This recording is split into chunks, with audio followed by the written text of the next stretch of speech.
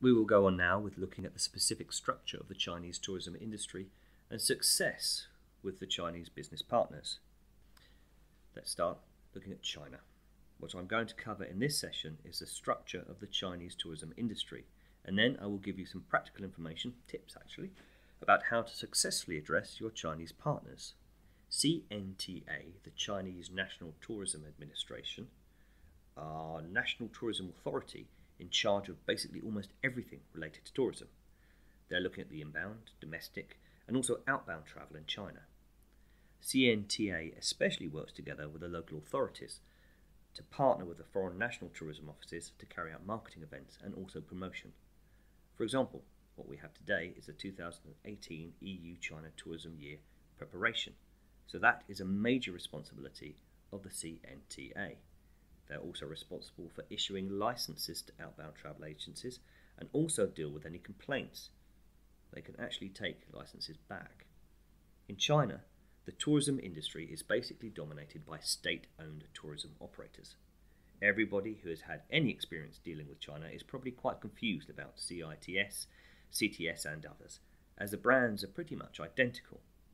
Actually, last year the two biggest Chinese travel groups, HKCTS and CITS, merged and became the largest state owned travel group. Early on, in the beginning stage of outbound tourism, the Chinese tour operators actually started having a price war and competing more for market share than caring about profit, which led to a race to the bottom and the so called zero dollar tours. Various Chinese tour operators sold package tours at very low prices, but then while on such a tour, they forced the participants to go shopping, and then shopping commissions were paid back to the tour operator as a subsidy. The tour guides were not paid also, but had to earn their income from the commissions as well. This damaged the destination's image in the long run and led to a low level of Chinese tourist satisfaction. This is why, since October 2013, the new Chinese tourism law made $0 tours and forced shopping illegal. As you can see on the next slide, travel agents are gaining more popularity. Not just the technology based ones, but also its competitors, the tour operators in China as well. Around 10% of the Chinese travel agents have an outbound travel license. These are issued by CNTA. Non Chinese companies are not allowed to sell outbound tours. As I mentioned before, the competition in China among tour operators led to a very negative media report about all these dealings with zero dollar tourists and about how the Chinese tourists were bullied actually by tour guides and tour leaders and were forced to go shopping.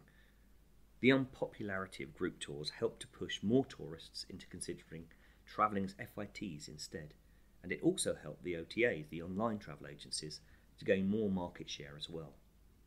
Along with the advancement of internet and mobile technology, currently we see 20% of the market penetration by the Chinese OTAs. But in the meantime, what we observe is that the Chinese retail travel agents, those with physical retail offices in China, still have the bigger market share. The reason for this is the fact that for Chinese tourists to be able to travel overseas, they still need to actually obtain a visa for most destinations and also to buy international tickets.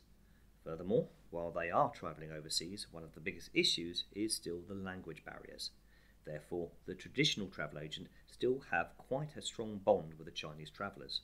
Chinese OTAs, as we can see, are much more colourful here. Ctrip is by far the biggest one, with more than one third of the market share. Ctrip and Tuniu, with the cute ox head logo, are the two market leaders.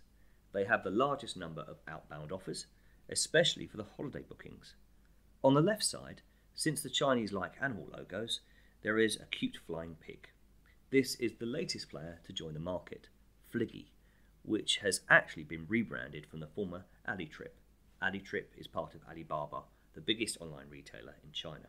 So now it is called Fliggy, and this company is more focused on the younger traveller up to the age of 30.